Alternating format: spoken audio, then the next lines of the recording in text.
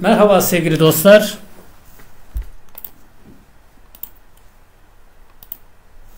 Merhaba sevgili dostlar. Sansar Takip'te TV ekranlarına hoş geldiniz. Bir karantina sohbetleri programında daha sizlerle birlikteyiz.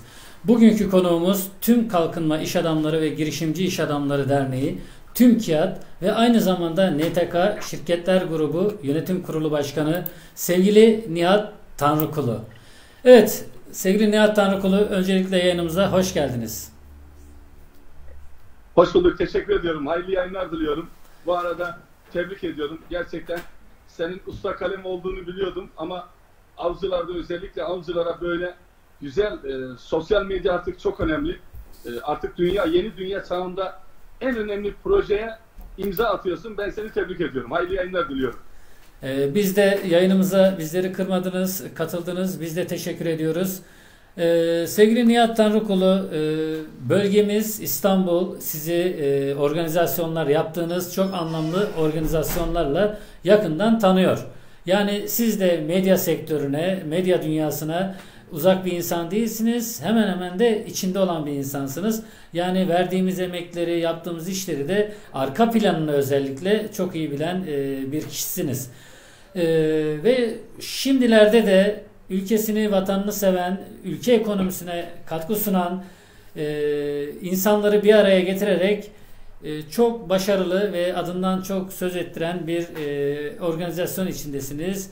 E, bir e, dernek kurdunuz. Tüm İş Adamları Derneği, Girişimci İş Adamları Derneği kurdunuz ve e, bu anlamda da hem e, İstanbul'u hem ülkemizi de yurt dışında da temsil ediyorsunuz. Öncelikle hem e, sizin e, geçmişinizdeki e, o organizasyonlardan biraz bahsetmenizi istiyorum. Sonrasında da TÜMKİAD nasıl doğdu? Çok teşekkür ediyorum. Şimdi tabii ben önce medya sektöründe olan bir kardeşinizdim. Televizyon programcılığı. Televizyon programı yaparken tabii yani insanoğlunun bir hedefi vardır. Program beni doyurmadı organizasyon şirketi kurduk. Organizasyon şirketinden sonra danışmanlık, danışmanlıktan sonra tabii e, inşaat firması, inşaat sektörüne girdikten sonra e, hayallerim, hedeflerim hep ülkeme, milletime hizmet etmekti. Bu devlete, bu onurlu devlete layık bir e, insan olmaktı. Allah'a hamdolsun. Her girdiğimiz işte Dünya Kickbox Şampiyonası tabi bu arada bunu da unutmayalım. Dünya Kickbox Şampiyonası'nı da organize ederek da bunları toparlayarak bir karar aldım. E, sunuculuğu, programcılığı, organizatörlüğü e, NKK organizasyonunda e, sevgili yeğenim Okan Tanrıkulu'ya devrederek inşaat sektöründe, tekstil sektöründe, aile şirketimiz olan tekstil sektöründeki iş birleşimiyle ülkemizde eksik olan bir e, STK noktasında ülkemizde gerçekten STK'lar kuruluyor ama lobi gücü STK'ları çok az kuruluyor. Genelde işte köy STK'ları, efendime söyleyeyim e, yani kültür STK'ları, yardım STK'ları. Ama lobi gücü STK'sı Türkiye'de bir e, elin parmak sayısını geçmeyecek kadar az ve yıllardır hayalimdi, özlümdü. Ülkeme nasıl hizmet vereceğim siyasetin dışında tüm KİAD doğdu. Tüm da kurarak bugün Allah'a hamdolsun ülkemize hizmet ediyoruz. Evet. ee, sevgili Nihat Başkan, malum e, ülkemiz bir deprem e, gerçeğiyle e, yüzleşmişti ve hemen ardından da e, koronavirüs e, tehlikesiyle de e, baş başa kaldı ve bir e, süreç yaşıyoruz. E, izolasyon süreci yaşıyoruz ve sıkıntılı bir süreç geçiyor. Sizler bu anlamda tüm, tüm kağıt bu anlamda neler yapıyor? Tüm kağıtın üzerine ne gibi sorumluluklar düştü? Bunlarla da ilgili bu çalı bu süreçteki çalışmalarınızda da ilgili bizlere bilgi verirseniz. Teşekkür ediyorum. Şimdi Gürsel Bey biliyorsunuz aslında e, tüm dünyayı e, resmen durduran, frenine basan koronavirüs belası maalesef ülkemizde de ciddi bir şekilde etki yaptı. Şimdi ben bir iş dünyası olarak, bir iş adamı olarak, bir danışman olarak, bir siyasetçi gözüyle şunu burada izleyicilerimize aktarmak istiyorum. Aslında e, siyaseti bir kenara bırakıp, ticareti bir kenara bırakıp bu onurlu ülkede Mustafa Kemal Atatürk'ün kurduğu, dava arkadaşlarının kurduğu, kanla satın alınarak kanla satın al kurulduğu bu cumhuriyetin ebediyata kadar yaşaması için bir insan olarak bu cumhuriyetin bir vatandaşı olarak neler bizi bekliyor, neler yapmalıyız? Güzel ve biliyorsunuz ben o 10 yıldır aşağı yukarı 10 yıl önce söylediğim sözleri bugün ne kadar doğru olduğunu görüyoruz. Bizler Türkiye'de, Türkiye Cumhuriyeti olarak dünyanın baktığınız zaman tam kalbi noktasındayız. Orta Doğu'nun ve Avrupa'nın e, tam bir merkezinde bir ülkeyiz. Şimdi bu virüs aslında bir taraftan hayırla bakmak lazım, bir taraftan şerle bakmak lazım. Bir kere önce insanları insan olmaya çağırdı. İkincisi Yüce Rabbim yani tüm insanların, dünyada yaşayan insanların dili, dini, ırkı, mezhebi ne olursa olsun, inancı ne olursa olsun sonuçta her canlı, her yaşayan bir insan bir şeye inanıyor. Yaradanın varlığına inanıyor. Farklı donlarla, kimi İslamiyet altında, kimi farklı dinler altında bunu toparlayabiliyor. Yüce Rabbim Yaradan da şunu millete dedi ki, çünkü dünyada artık insanlık çoğalıyor. İnsanlık çoğaldıkça bu e, virüs olayının da bir Allah tarafından değil, kul tarafından veya bir kişisel olarak tarafından makine ürün olduğunu biliyoruz. Tabii biz Türkiye'de ne yapacağız? İş dünyası olarak, iş adamları olarak ne yapacağız? Bunun hazırlıklarını yapmak lazım. Türkiye olarak biz arkadaşlarımızla yönetim kurulu yerimizde sürekli istişare yapıyoruz. Şu anda bilgilendirmek için normalde bizim dergi çalışmamız var.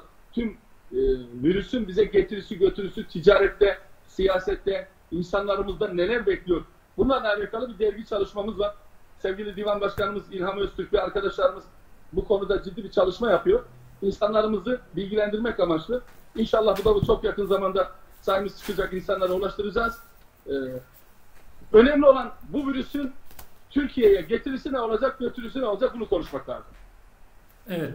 Ee, bu süreci, e, bu süreçte ekonomiyi nasıl görüyorsunuz? Yani sizin bir öngörünüz nedir? Nasıl olacak? Süreç tamamlandığında bizleri neler bekliyor? Siz iş adamları bunları nasıl değerlendiriyorsunuz? Bir araya geldiğinizde, toplantılarınızda. Şimdi Gürsel Bey, e, önce şu açıklamalarım çok önemli. Burada benim konuşmalarımı özellikle izleyicilerimizden rica ediyorum. Kimse bir siyasi olarak algılamasın. Evet. Bir taraf olarak algılamasın. Siyahla beyazın ortası yoktur. Ya siyahtır ya beyazdır. Orta asla orta bir renk yoktur. Türkiye Cumhuriyeti'nin devleti, Türkiye Cumhuriyeti'nin milleti, Türkiye Cumhuriyeti'nin insanları bir şey önce başarmıştır. Gerçekten devletine bu kadar sadık, devletinin kurallarına bu kadar sadık olan bir toplumdan ben gurur duyuyorum. Devletimiz de bu süreci iyi yönetti. Gerçekten başarılı bir sonuca doğru gittik. İnşallah bayramdan sonra da çifte bayram yaşayacak. Tabii ekonomik olarak Gürsel Bey gerçekten perişan durumda olan iş adamlarımız var. Evine ekmek götüremeyen insanlarımız var. Emekçilerimiz var. Ülkemiz gibi tabii tüm dünyada bu var. Sadece Türkiye'de değil. İşte bugün hepimizin özendiği, Türkiye'de de maalesef içimizde vatan hainlerinin e, işte dışarıda bir özentisi vardı. Bugün dünyada para gücü kimdi? Amerika'ydı. Bugün Amerika'nın işte ekonomik olarak bile, sağlıkta bile baktığını biz de tüm dünya görüyor. Doğru mu? Evet. Şimdi biz onların maddi olarak, ekonomik güç olarak baktığınız zaman belki de onda yüzde elliğine siz vurun. Şimdi bu yüzden ülkemiz iyi biz, biz bir kere şunu biliyoruz. Aslında bu millet zorun milleti. Biz zoru görmeden büyük başarıyı başaran bir toplum değiliz. Biz, bakın biz 15 Temmuz'da da Çanakkale'de de Mustafa Kemal Atatürk'ün savaşı kazandığı Çanakkale Savaşı'nda da biz zorlukları başaran bir toplumuz. Bu yüzden aslında bu kriz yani bu virüs krizini de avantaja çevireceğimize inanıyorum. Paylaşım kültürü bizde, yardım kültürü bizde. Tabi e, bunların birçoğunu aslında unutmuştuk ama bu virüs bize yeniden hatırlattı. İnşallah durumu iyi olanlar, var olanlar, yok olana, akrabalar birbirlerine, dostlar birbirlerine destek olduğu zaman, bu virüsü atlattığımız zaman ticari olarak ben öyle inanıyorum ki tüm dünyanın merkezi, ticari köprü merkezi Türkiye olacaktır. Evet. Ee, peki biraz önce de bahsettiniz e, iş adamlarının sıkıntılarından da bahsettiniz. Çalışan emekçi e, e, personeller e, bu süreçte e, sıkıntılar yaşıyor. Devletten yani hükümetin bu anlamdaki katkıları neler olacak? Yani hükümetle görüşmeleriniz var mı? ne gibi yararlar sağlayacaklar bu sıkıntılar aşmak için? Şimdi biliyorsunuz hem e, Cumhurbaşkanlığımızın hem de bakanlarımızın bu konuyla alakalı önergeleri var. Bu konuyla alakalı yasaları var. E, hem Maliye Bakanı, İçişleri Bakanı, Sağlık Bakanı ve Cumhurbaşkanımız, devletin tüm kurumları, valilerimiz, e, işte e, KOSGEB olsun, tüm kurumlarımız, İstanbul Ticaret Odası, odalar olsun, e, ekonomik olarak mümkün olduğu kadar esnaflarımızı rahatlatmak için krediler, maddi destekler, milletimizi de desteklemek için nakit ödemeler yapıyor. Tabi bu yetiyor mu? Yetmiyor. Ama evet. sonuçta burası bir devlet e, devlet kasasındaki bütçeye göre payını dağıtıyor. Bizim millete de iş düşüyor. İnşallah İnşallah biz de Allah nasip eder birbirimize destek verirsek bu krizi başarılı bir şekilde aşacağımıza inanıyorum. Ama çalışmak lazım tabii. Sosyal mesafeyi koruyarak. Özellikle işi olmayanların evden işini yürütebilecek insanların evde işini yürüterek parayı da kazanmamız lazım. Yani şu an ben kendim olarak söylüyorum. E, şirketimiz olarak, şirketlerimiz olarak, NTK şirketler grubu olarak birçok insanımızın yüzde 40 gibi çalışma potansiyelini azaltarak evlerden işini yürüten insanlar evden devam ediyor. Çalışması gereken insanlar kontrollü bir şekilde sosyal mesafeyi koruyarak hayatımızı devam ettiriyoruz. Tabii eksik kaldığımız noktada devletimizin bize verdiği imkanı kullanabilecek bir durumdaysa kullanıyoruz. Ama ben kullanmadım. Kullanmamamın sebebi çünkü eğer ben dönüyorsam kullanabilecek e, iş adamı arkadaşlarımızın kullanması daha mantıklı olur. Ama maalesef Türkiye'de bu da azı bir gerçek. Yani e, buna ihtiyacı olmayan insanlar da bu kredileri kullanıyor. Buna ihtiyacı olmayan insanlar da bu paraları kullandığı zaman bu kez ihtiyacı olan insanlar da kullanmamış oluyor. Biz şahsımız olarak e, bu kredileri kullanmadan yaşamaya, yaşam mücadelesini sürdürmeye devam ediyoruz. Ve üye arkadaşlarımıza, iş adamları arkadaşlarımıza da istişarelerde, telekonferans toplantılarımızda hep şunu söyledik. Dayanabilecek arkadaşlarımız dayansın. Sonuçta bizden daha e, kritik durumda olan sektörler var. Örnek söylüyorum, hizmet sektöründe var, kafeterya sektöründe var, kuaförlerimiz var, okul kantinleri var. Yani biliyorsunuz mağazalarımız var, kuyumcularımız var. Yani e, sektörün yüzde otuzu şu an çalışıyor yüzde yetmişi çalışmıyor. O yüzde yetmişli insanların bu devletimizin açtığı imkanlardan kullanması için bu aslında milletimize de iş düşüyor. Biz de böyle bir düşüncede böyle bir üyelerimizle çalışma yapıyoruz. Evet. Peki e, Sayın Başkan mesela e, ufak örnekler verebilirsek işte maske dağıtımı olsun veyahut da ihtiyaç sahibi olan yurttaşlara e, nakdi yardımlar olsun.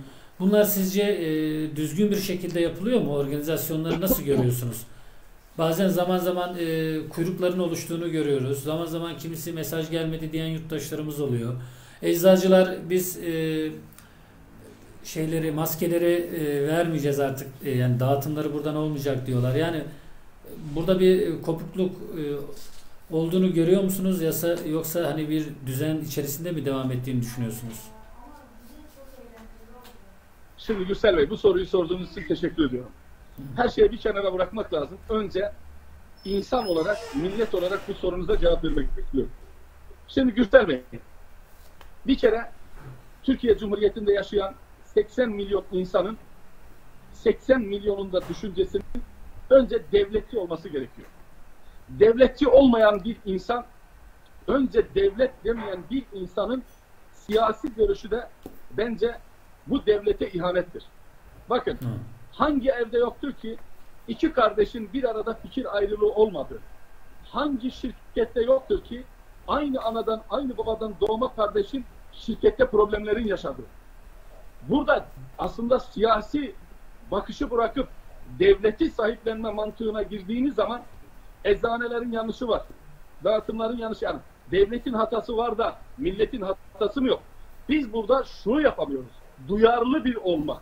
Çünkü düşünün yani bir insanın kapasitesi ne kadar yetebilir ki? Örnek söylüyorum. Belediyeler önceden dağılımı yapıyordu. Şimdi Cumhurbaşkanlığı direkt dedi ki valilikler ve kaymakamlıklar üzerinden dağılacak. Maskeler eczaneden dağılacak. Yani Türkiye'deki eczanecilerin hepsinin aynı görüşte olduğunu siz inanıyor musunuz? Ben inanmıyorum. Biri canı gönülden ölüm pahasına devletin ve milletin başkası için çalışırken biri de devletin hükümeti bakın hükümet seçicidir. Yani bugün AK Parti vardır, yarın Cumhuriyet Halk Partisi vardır, öbür gün Milliyetçi Hareket Partisi gelir, öbür gün diğer partiler gelir. Ama devlet ve milletin geleceğinin bekası için devlet terbiyesi çok önemli. O devlet terbiyesini almayan insanlar da maalesef yani hatalar olacak tabii Gürsel Bey şimdi siz gazete dağıtıyorsunuz. Yüz binlerce gazete dağıttığınız zaman bunun her şeyini dört dörtlük yapma şansınız var mı? Elbette yok. Yok. E şimdi yani eczanecilerde bu dağıtım kurulanda da maalesef yalan yanlış haberlerin çıkması da bunu lütfen bir siyasi olarak algılamasın. Bakın ben önce milletime bunu diyorum. Millet bir kere şunu bilecek. Bakın toplumlar nasıldır? Beş parmak nereye bağlı? Bileğe bağlı değil mi Gürsel Bey? Evet. Şimdi toplumların kalabalıkları toplumların kalabalıkları siyasi önderlere STK veya aşiret veya toplumsal önderlere bağlıdır. Evet. Bu önderler siyasi çıkarları için, kişisel çıkarları için toplumu yanlış yönlendirirse bu olmaz. Yani şunu söylemek istiyorum. Bizim asıl terbiyemiz Mustafa Kemal Atatürk'ten aldığımız bak devlet terbiyesi Peygamber Efendimiz'den Peygamber Efendimiz'den başlamıştır. Hazreti Ali Efendimiz'in devlet terbiyesinden bugün Osmanlı'dan yine Cumhuriyet'in kurucusu Mustafa Kemal Atatürk'ten bu devlet terbiyesine baktıkları zaman söz konusu bu tür dünyayı bu tehlike ilgilendirirken Türkiye'de de devletimiz gece gündüz çalışırken bu dağıtımda devletine ve milletine kişisel çıkarları için sorun çıkaranlar bence onlar e, bu sorunları kendilerinde eleştireceklerdir. Hatalar var mıdır? Eksikler var mıdır? Önemli olan o eksikliği tamamlayabilmek, ruhuna sahip olmak. Evet. Ee, peki sevgili başkan, e, tüm kağıt olarak bölgede e, yerel yönetimlerle, yerel idarecilerle diyaloglarınız nasıl? Bunu nasıl sürdürüyorsunuz? Şimdi tabii tüm kağıt olarak bizim hiçbir siyasi partinin kuruluşu değiliz. Bunu söylediğimiz zaman bazen bazı insanlar yani şunu algılamıyor. Ee, bazen evet hepimizin bir siyasi görüşü var. Önemli olan bir kurumda tek taraf olmamak. Evet. Yani e, tek taraf olmamak. Nasıl? Mesela bir parti seni kurdurur. Bir partide herkes o siyasi partinin görüşü olur. O partiye sen hizmet edersin veya kölelik edersin veya yalakalık yaparsın. Doğru evet, mu? Evet. Parti seni kurduğu için. Biri seni para gücüyle kurdurursa seni satın alır. Sen o para gücündeki seni satın alan o güce hizmet edersin. O evet. hestir, oturursun, hükter kalkarsın. Bir de seni bir cemaat kurmuşsa veya bir cemaat gibi oluşumla kurmuşsa sen o yolun yolundan gidersin. Bir tümkiyat olarak devletin STK'sıyız dedik. Bakın devletin, Türkiye Cumhuriyeti'nde bir ilk. Yani biz her siyasi görüşü ne olursa olsun yeter ki vatanına, milletine, bayrağına, ülkesine ihanet etmeyen olacak. Bizde her siyasi partide olan arkadaşlarımız var. Bu da bizi yerelde başarıya götürüyor. Nasıl götürüyor? İşte örnek söylüyorum avcılarda kim var? Cumhuriyet Halk Partisi'nin yerel yönetimi var.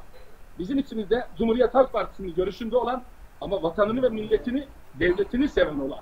Şimdi devletin söz konusu devlet olduğu zaman siyasi görüşünü bir kenarda bırakıp devletçi olan arkadaşlarımız var. Yerel iletişimlerde bu konuda. Büyükşehir'de, diğer partilerde, Milliyetçi Hareket Partisi, AK Parti'de olan yerel yönetimlerdeki tüm siyasi partilerin kazandığı arkadaşlarımız da biz hepsine eşit davranarak yani avcılarda bir AK Partili kardeşimiz de ticaret yapabilir. Milliyetçi Hareket Partisi de yapabilir. O Cumhuriyet Halk Partisi'nin belediye başkanıysa MHP'ye de AK Parti'ye de diğer partilere de hizmet etmek zorundadır. Efendime söyleyeyim, örnek söylüyorum. Başakşehir'de AK Parti kazanmışsa Cumhuriyet Halk Partisi'ne de İyi Parti'nin insanlarına da hizmet etmek zorundadır. Bunu da biz yerel yönetimlerin bu bilinci sağlayarak seçilen insan siyasi seçilir ama seçildiği günden sonra devletin bir kurumunun başına geçmiştir. Devlet mantığıyla hizmet vermek zorundadır. evet. Çok özür diliyorum. Aklınıza Evet. Evet peki e, sevgili başkan e, mübarek bir Ramazan ayındayız. E, Ramazan ayında e, ki tüm kağıta düşen sorumluluk nedir? Çalışmaları nedir? Bu anlamda bir dayanışma e, içerisinde misiniz? Bize bunlarla da ilgili kısa bilgi verir misiniz? Tabii teşekkür ederim. Biz e, yönetim toplantımızda şu kararı aldık. Ama nettir. Beni tanıyan tanır Gürsel Bey. Siz Evet. de biliyorsunuz. Diyor yalan kara benzer. Güneşi gördüğünü elir gider. Haram buzla dikilmiş kaleye benzer. Güneşi gördü mü o da yıkılır gider. Şimdi biz TÜMKİAD olarak maalesef bize laf atan STK'lar da oluyor. Başkanları da oluyor. Kişiler de oluyor. Bakın hiç kimse tek başına kimseye yetemez. Biz geçen Ramazan'da 100 tane engelli sandalyesi aldık dağıttık. Bu 100 engelli sandalyenin sosyal medyada ve ulusal basına düşmesinden biz 170 tane daha sandalye aldık dağıttık. Şimdi bizim 10 bin tane sandalye dağıtma imkanımız var mı? Yok. Değil Evet. mi? Evet. Yani bir isteyene veriyoruz. Burada yetmediğimiz, yetişemediğimiz kardeşlerimiz belki bize küstü ama biz üstümüze düşen görevi yaptık. Bu Ramazan'da da bir karar aldık. Yönetim kurulu kararımız. Biz e, tekerlekli sandalye, kumanya yapmayacağız. Bakın çok önemli bir şey söylüyorum. Tekerlekli sandalye, kumanya yapmayacağız. Evet. Ne yapacağız? Peki ne yaptık? Daha doğrusu ne yapacağız değil, ne yaptık? Bir, benim kendi şahsımda. Şimdi Gürsel Bey düşünsenize.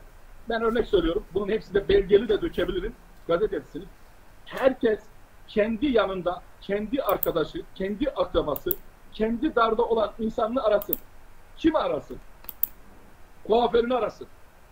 Selamünaleyküm. Kardeş ben sana tıraş oluyordum ama kuaförler kapalı, kuaförün kapalı. Var mı bir ihtiyacın? Nakden. Olaya direkt nakit desteği versin. Kimi arasın? Evin kapısında çıkıp efendime söyleyeyim posasını, böreğini aldığı mekan kapalı. Arasın. Efendim var mı bir ihtiyacın? Kimi arasın? Kendi yanında abisinin oğlu, dayısının oğlu, dıdısının dıdısının oğlu kafeteryada ve hizmet sektöründe çalışıyor. Kapatmış evinde. Arasın. Kardeşim var mı bir ihtiyacın?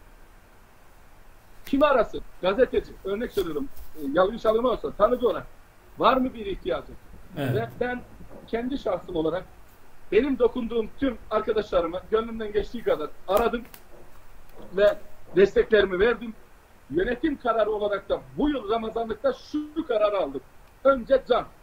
Şimdi düşünsenize sizin yanınızda bir tane personeliniz çalışıyor. Veya sizin bir dostunuz var. iki arkadaşsınız. Biriniz darda. Var olan dardakine sırıp şov yapması. Bunun bana asılımını söyleyin. Evet. Doğru söylüyorsunuz. Yani şov, Doğru mu? doğru. Şov, şova gerek yok. Evet. Ya şunu da söyleyeyim. Hayır ben açık söylüyorum. Biz biz bize yeteriz. Türkiye'm kampanyasına dekopları paylaşarak biz zaten devletimize bir parayı yatırdık. Evet. Türkiye üyeleri yönetim kurulu üyeleri olarak yatırdık. Ama biz dedik ki arkadaşlar örnek söylüyorum.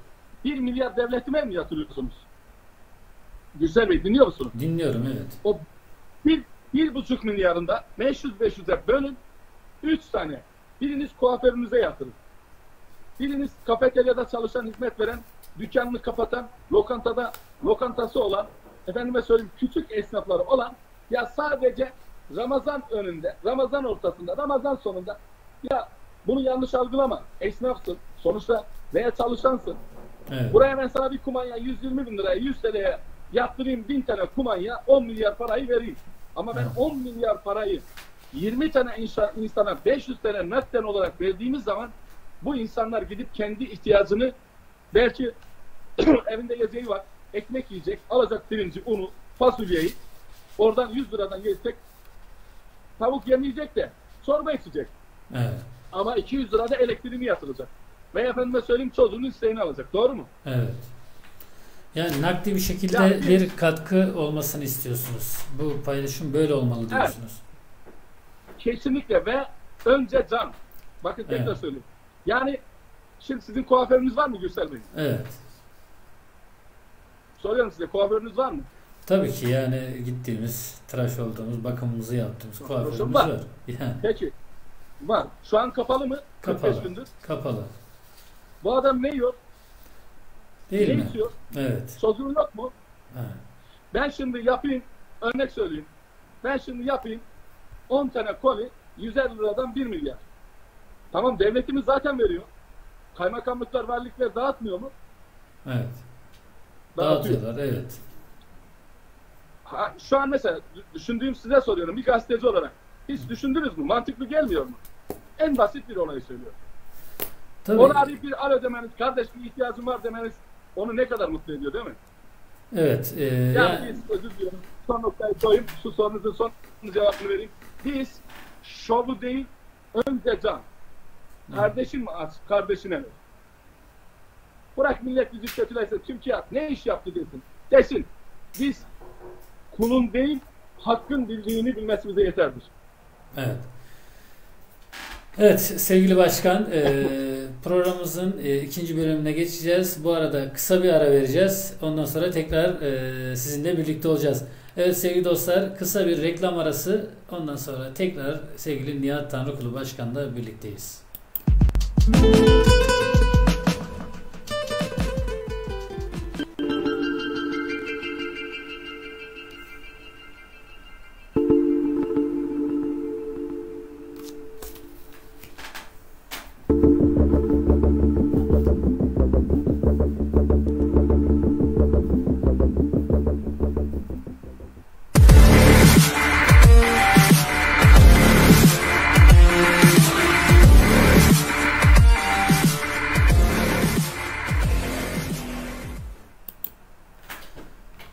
sevgili dostlar tekrar yeniden sizlerle birlikteyiz. Konuğumuz Tüm Kalkınma İş Adamları ve Girişimci İş Adamları Derneği TÜMKİAD ve aynı zamanda NTK Şirketler Grubu Yönetim Kurulu Başkanı sevgili Nihat Tanrıkulu. Evet sevgili Nihat Başkan eee, 30 dakika dolu dolu bilgiler verdiniz hem TÜMKİAD'a dair çalışmalarına dair hem de yaşanan süreçle ilgili. Sevgili e, Nihat Başkan, sizin bir de aynı zamanda e, siyasetle de e, yakın bir e, iç içe olduğunuzu da biliyoruz. Ve aynı zamanda Avcılar'dan da belediye başkan aday adaylığı süreci yaşadınız. E, ve aynı zamanda NTK şirketler grubu olarak da inşaat sektöründe e, önemli bir e, yer tutuyorsunuz. E, Bunlarla ilgili bilgiler verebilir misiniz? E, avcılarla diyaloğunuz nasıl? Hani aday olmuştunuz, aday aday olmuştunuz. Avcılarla e, bağınız ne durumda? Teşekkür ediyorum. Ee, ben avcılardan aday adaydım. Ee, durduğum yerde duruyorum.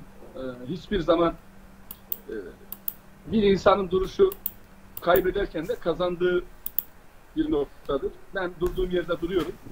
Ee, avcılar 30 yıldır avcılar Tahtakale'de oturuyorum. Tabii buradan e, özellikle avcıların en büyük en büyük kayıplarından birisi maalesef maalesef e, avcıları yani avcıları gerçek bir avcılarının avcıları yönetmemesiydi.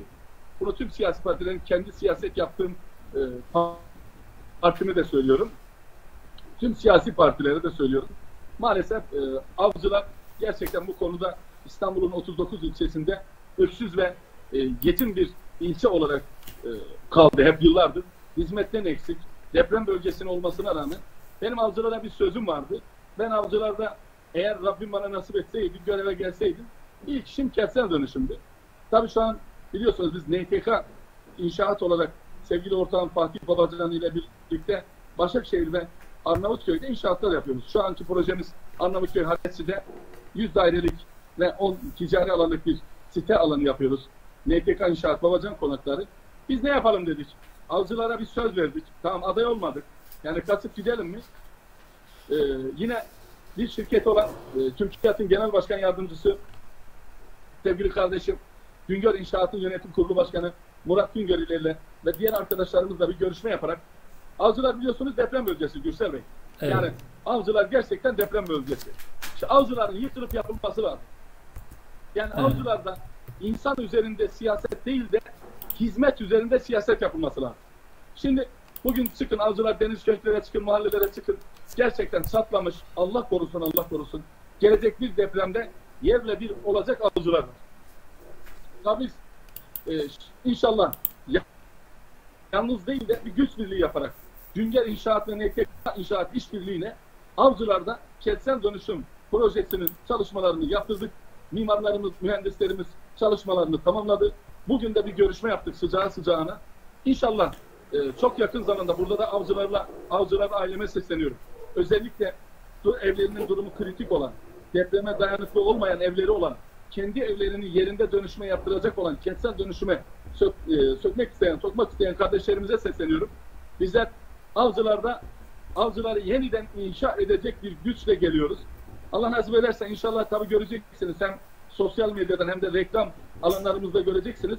Avcılarda kentsel dönüşüme karar verdik. Avcılar ve Küçükçekmece'de şu an Küçükçekmece'de projemiz devam ediyor. 80 dairelik bir kentsel dönüşümün e, hazırlıkları yapılıyor. Avcılarda da bugün son görüşmeyi yaptık. İnşallah. Yani birinci projemizi başlattıktan itibaren avcılarda avcıların tamamını kucaklayacak. Avcılar kentsel dönüşüm ofisiyle hizmet vermek için tüm altyapılarımızı yaptık. Çok yakında da inşallah e, bunu göreceksiniz. Avcıların insanların hızlı bir şekilde benim şu an Arnavutköy'de yaptığım ilk projede biz onun antrenmanını da yapıyoruz. Biz 4 ay içerisinde bakın 4 ay içerisinde projemizi yapıp iskan durumuna hazır durumuna getirdik. Yine şu an 21 dairelik aynı adada bir diğer bloğumuzu bir buçuk ay içerisinde kabasını bitirip hedefimiz iki ay içerisinde, iki buçuk ay içerisinde de anahtar teslim haline getirmek. Ekibimizi kuruyoruz. Beş yıldır inşaat duymasında ekibimizi oturttuk. Yani avcılarda insanlar zaten evi yok. Zaten perişan durumda. Zaten evet. evi yıkılacak. Ya emekli olmuş ya 30 yıl önce 40 yıl önce evini almış. Bu evler depremde darbe görmüş. Bu insanların evinden çıktıktan sonra 2 yıl değil de 7-8 ay sonra 1 yıl sonra güçlü bir firma inşaatlarını yapıp onları sağlıklı eve yerleştirmesi için bir yıldır çalışmalarımızı tamamladık. Buradan müjdeyi verebilirim. Avcılarda da eğer kentsel dönüşüm yapmak isteyen sizler aracıyla da bizlere ulaşabilir. Biz evet. kendi yerlerini kendi yerlerinde hızlı bir şekilde dönüş yapacak ve çok yakında avcılarda kentsel dönüşüm ofisini açacağız inşallah. Yani diyorsunuz ki aynı zamanda yerinde dönüşümün de e, en e, güvenilir adreslerinden bir tanesi olacak NTK avcılarda. Artık o zaman e, avcılarda... NTK ve evet. Nihat Sandıkulu. Evet. Benim bir sözüm vardı avcılarda. Zühtü Bey hatırlarsanız evet. toplantıda da söylemiştim. Avcılarda avcılarla avcılarda siyaset yapan insanın cennetle cehenneme benzer bir kapısı var. Evet. Bakın net söylüyorum. Çünkü avcılar diğer ilçelerimiz gibi değil. Avcılar deprem bölgesi. Avcıların iki tane de itilmiş, ötelenmiş mahallesi var. Bu mahalleden birisinde ben oturuyorum. Tahtakale ve Yeşilkent. Tahtakale Yeşilkent'in imar sorunu olduğu için biz orada şirket olarak, şahıs olarak bir şey yapma şansımız yok. Evet. Ama diğer 8 mahallede, diğer 8 mahallede kentsel dönüşümde biz şu sözü verdik. Dedi ki avcılarda siyaset yapanın cennet ve cehennem kapısının ortası olmayan bir sınırda siyaset yapacak. Nasıl? Evet. Bu millet hizmete susamış, bu millet korku içinde yaşıyor. Bakın herkes evinden çıkmıyor. Allah korusun bir deprem olsa avcılar nereye gidecek Gürsel Bey? Evet.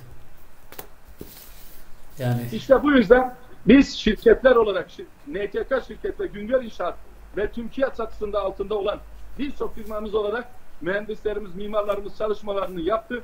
İnşallah Avcılar Belediye Başkanı Sayın Turan Hançerli'yi de çok yakın zamanda şu olaylardan sonra bizzat kentsel dönüşüm için ziyaret edeceğim. Avcılarda da şov yapıp ben mimarım deyip, ben müteahhitim deyip şov yapıp insanların üzerinden ticaret yapan o şovmenlere de e, güle güle diyeceğiz inşallah. Evet, e, oldukça gayet iddialı e, cümleler de kurdunuz. Yani e, artık net... Bak tekrar söylüyorum. Özür dilerim Hüseyin Bey. Evet. Avcılarda şov yapıp, mimarlık yapıp, kentsel dönüşümle, müteahhitlik yapıp ama bir karınca boyu yol gitmeyip evet. ne maddi gücü, ne manevi gücü, ne profesyonelliği olmayan insanlar avcılardan göçedip gidecek. Evet. Çünkü avcıların halkı hizmeti hak ediyor. Evet. Ee, teşekkür ediyoruz. Sevgili Nihat Başkan, e, bunların dışında söyleyeceğiniz son e, sözleriniz, mesajlarınız nedir? İzleyicilerimize, okuyucularımıza e, ne, ne gibi mesajlar vermek istersiniz? Bu ilk yayınımızda e, sizle buluştuk. E, daha doğrusu internet televizyonculuğunda da e, sevgili izleyicilerimizin de e, eksiklerimiz varsa hoş görmelerini istiyoruz. Bizler de bizler de bu süreci e, değişime ayak uydurarak, e, yeni e, projeler üreterek ve her geçen günde üstüne koyarak, tamamlayarak güzel işler yapmanın peşindeyiz yayıncılık anlamında. Bunda da e, hatalarımız, eksiklerimiz olursa kusura bakmasınlar. Bizler yine bunları düzeltmek için çalışacağız. E, ve size de teşekkür ediyoruz yayınımıza katıldığınız sevgili Nihat, Başkan. E, sizin de son cümlelerinizi, mesajlarınızı alalım. Ben öncelikle böyle bir avcılar sevdalısı, avcılara hizmet etmiş, avcıların usta kalemi, avcıların medya ayağı olan değerli hemşerim, değerli abim gurur duydum. Ee, bugün senin programına Santar TV'ye konuk olmak benim için de büyük bir şeref oldu. Evet. Ee, ben e, takdir ve gururla takip ediyorum sizi. Başarılarınızın devamını diliyorum. Çok teşekkür ediyorum. Beni yayına aldığınız için hakkınızı helal edin. Belki biraz uzun konuştum ama ya. bizim aldığımız terbiyede, bizim yolumuzda şunu biliyoruz ki korkusuz ve dik duracaksın. Abdestinden şüphen hiçbir zaman olmayacak. Biz evet. bu duygularla yola devam ediyoruz. Bizim Allah'a çok şükür düşmanımız yoktur. Bizim hep dost seçmeye devam ediyoruz. Ama dürüst insanların cahil insanıdır düşmanı. Bizim hakkını, hukukunu yediğimiz düşmanımız yoktur. Ama bizim en büyük düşmanımız sadece benim değil, tüm senin de, tüm Türkiye'de ve dünyadaki dürüst insanların da en büyük düşmanı cahildir, cahil insandır. Maalesef vasilesiz ve beceriksiz insandır. Bizim de düşmanlarımızın onlar olduğuna inanıyorum. Onların da bize sevgiyle bakacağını, zamanla bizi anlayacağını, aslında onların çocuklarının geleceği için kendimizi meydan attığımızı anlayacağı gün inşallah o günde zafer bizim olacak. Türkiye istediği hedeflere ulaşacak. E, şirket bir ticaret kurumudur. Biz ticaretimizi yapıyoruz ama avcılar içinde inşallah hem ticaret hem de avcılarda kentsel dönüşüm için geleceğiz. Ben tekrar bizi izleyen herkese çok teşekkür ediyorum. Avcıların usta kalemi. Evet. E, senin gibi değerli kardeşimle programda konuk olmak benim için bir şeref oldu. Biz de teşekkür ediyoruz. Evet sevgili dostlar e, bugün Sansar Takipte TV'de e, karantina sohbetlerinde Tüm Kalkınma İş Adamları ve Girişimci İş Adamları Derneği, TÜMKİAD ve aynı zamanda NTK Şirketler Grubu Yönetim Kurulu Başkanı sevgili Nihat Tanrıkulu ile birlikte olduk ve onun e, bu süreç içerisindeki yaptığı çalışmaları hep birlikte dinledik. Evet sevgili dostlar yeni bir yayında daha sizlerle birlikte olacağız. O güne kadar kendinize iyi bakın diyoruz. Yayınımızı tekrar izlemek istiyorsanız YouTube'dan Sansar Tayf'ta kanalına abone olmayı da unutmayın. Hoşçakalın diyoruz, dostça kalın diyoruz.